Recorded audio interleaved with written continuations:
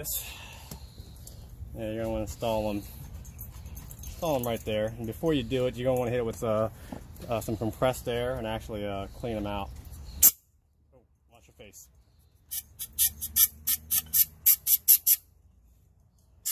Yeah, you want to make sure there's no particles in the sockets at all.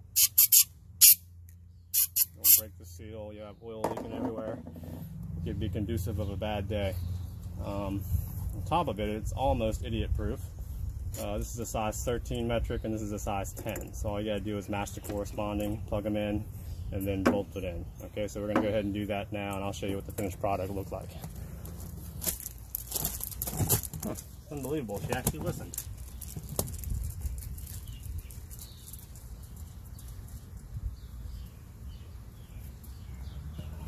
So when you put these in, you want it to end with a curve goes with the, uh, trim ram bolt.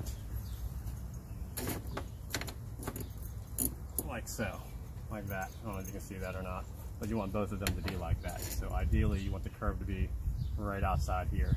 So, all right, put this one in.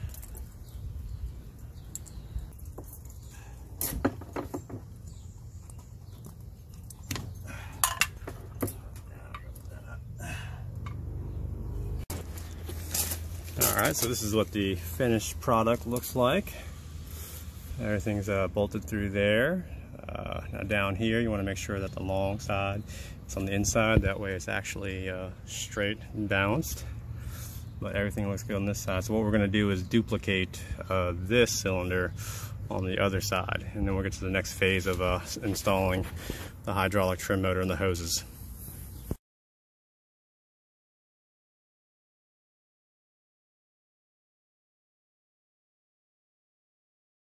Right, so now we got to figure out where we want to drill a hole in this boat, which again is not my forte, but it must be done. So looking to put this uh, hose cover mount, yeah, approximately right there. Maybe drill like a two and a quarter inch hole right here, and then we're just gonna route it. The hoses, they're gonna come through here and go all the way over there and that's where the trim motor is going to be mounted which is right here. So definitely got to make sure wherever you mount it that the hoses hoses can reach. They only come in one size and that's uh, short AF so just make sure you take your measurements that way you're only cutting once. All right so we're gonna go ahead and start drilling some holes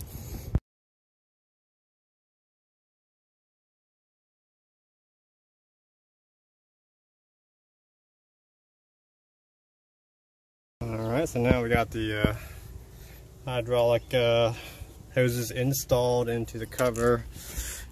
Uh, they're coming out under here. So now I gotta route them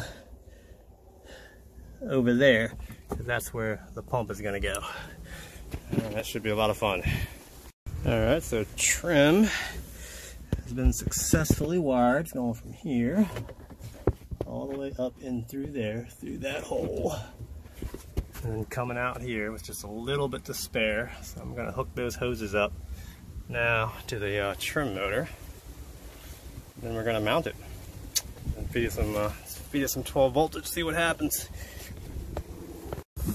All right, so before we get into the whole mounting, putting the bracket in and installing this, drilling more holes, uh, I'm gonna go ahead and connect the, uh, the solenoid activation wires that way I don't have to reach in there and do it. A lot easier if it's out here. So I'm just going to take this uh, splice it, strip it, tap those on, and then put uh, put the wires onto the triggers. That way when I go to set it up, uh, this is already done, and then I can just route it you know, wherever it needs to go, to the controls or back here, the engine, wherever. So I'm going to go ahead and do that, and I'll show you the finished product. Now we're on the finished product of the trim motor. Um, we got the wire here. This is going to activate the up up solenoid. And this wire over here, I don't know if you can see it. Yeah, right here, that's going to activate the down solenoid. Then I have the wires going up to the top.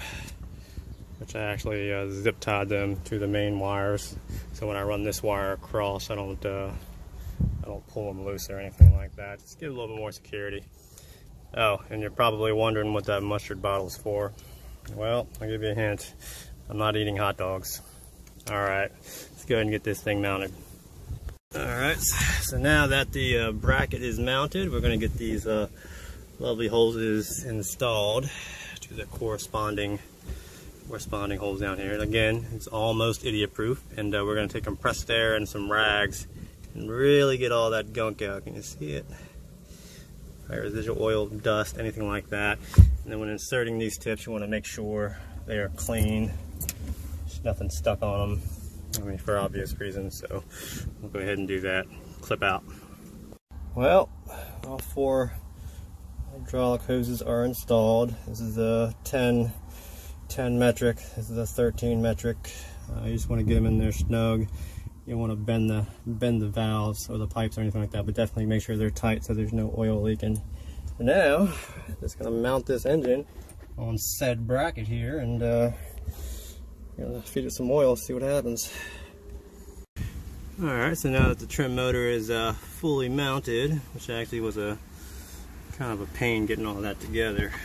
Took a little longer than it should, but we're good to go. Now we're back to this uh, mustard bottle. What I'm going to do is uh, put this oil in here. I'm using uh, 5W30. I think they recommend 540. I'm, I'm not sure. This will work just fine. I'm gonna put this in because the hole to fill it, I don't know if you guys have ever seen it.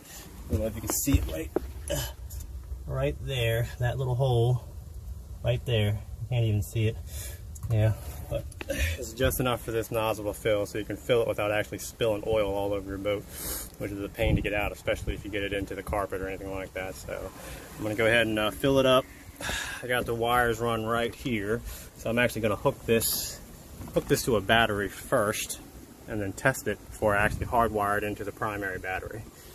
Okay, and I almost forgot to mention when you're doing this, make sure your engine, uh, the cylinders are complete, everything's completely trimmed up.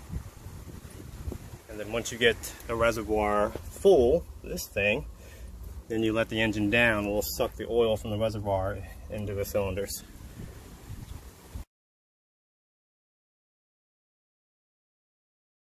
Alright, so now the reservoir is completely full.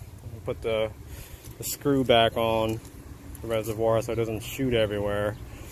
Now I'm going to let the uh, let the outboard down and I'm going to attempt to do this with one hand, which is impossible by the way, because I have to unlock it. So I'm going to set down the phone just for one, well maybe not. Let's see. There we go.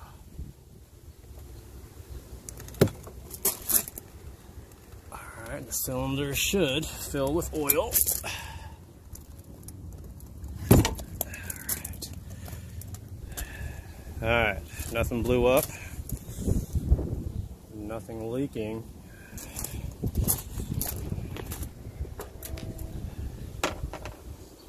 And everything looks uh, looks good.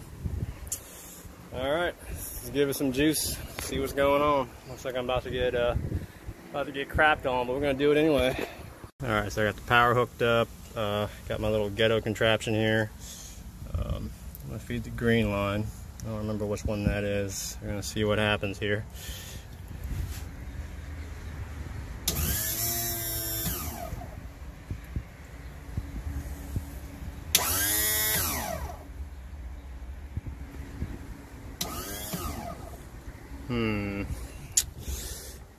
Let's try the other one.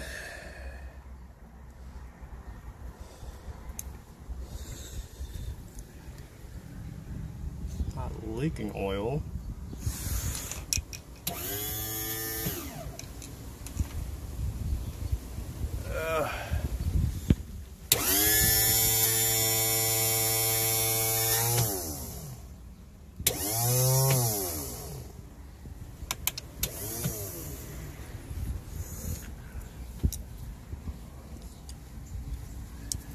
Again.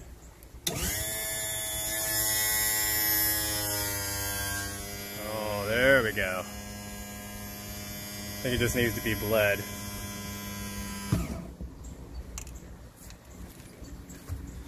All All right, that's good to know. I guess the green is up and the brown is down. All right, let's try to make it go down. Sweet. What I'm talking about. Mm-hmm. All right, no leaks, nothing blew up. All right, I think it's time to hardwire all this, uh, hardwire all this in. All right, so I ran the power cords, power cables all the way under. So they're right here. This is with the trim wire. Trim wire is right there. So they come out on the other side. So now they're actually on. So that's the trim motor. Trim motor has power. So now I gotta splice this into trim, which if it's wired correctly, this will be up and this will be down. Now I thought about, hold on, up, yeah, down, up, down, you know, blue sky, green earth. Thought about running it, you know, maybe through there into the engine. I guess that would be okay, but not really. So what I'm gonna do is actually get into the harness, which runs Oh my goodness. Right there. See it? And I'm gonna make sure I'm gonna test the wire to figure out which one which one is hot, which one is not. Alright, wish me luck. Alright, so everything's hooked up right. Splice the wires in. we think it's right. With the engine, we're actually gonna try to do this from the uh, controls in the boat. On. Alright, so that's up. Oh, that's a, that's a good sight to see right there. I like it. Let's test it down. Mm-hmm. That's where it's at. All right, so all I got left to do is uh, tidy up all the tidy up all the wires down there, and the hydraulic trim is fully operational. Took me about I think maybe four or five hours once I got everything set up, just to make sure everything was mounted correctly and everything like that. And uh, glad the wires worked out in the control. Sometimes the wiring in these boats, uh, sometimes other mechanics get in there and the color codes don't match and it just gets a little bit confusing. But today it worked out. So yeah, thanks for watching and I hope you guys enjoyed it. All right, bye.